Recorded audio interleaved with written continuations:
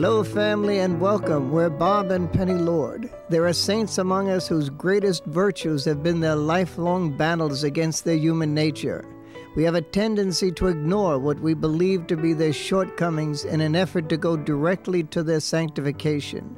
When we do this, we miss a teaching the Lord has to give us. We go for the dream and we miss the journey. We would miss St. Bernadette, the visionary of Lourdes.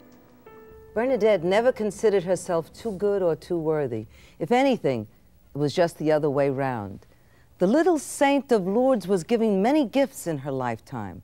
One was beholding the presence of Mary, the Mother of God, 18 times in the year 1858. Another was the ecstasy she experienced during these apparitions. She prayed the gifts would offset her imperfections, a strong will, a fiery temper, a stinging tongue. What she may never have realized is how our Lord Jesus and his mother Mary would use these traits for his glory. We once wrote that Bernadette was a simple girl and illiterate at the time Our Lady appeared to her, but never did we consider her a stupid girl. Her behavior throughout the period of the apparitions, and it was a strong indicator of this, and her life after the apparitions and in the convent of Saint Gildard is further proof of her strength. Bernadette was never overly impressed with herself or her role in the apparitions at Lourdes.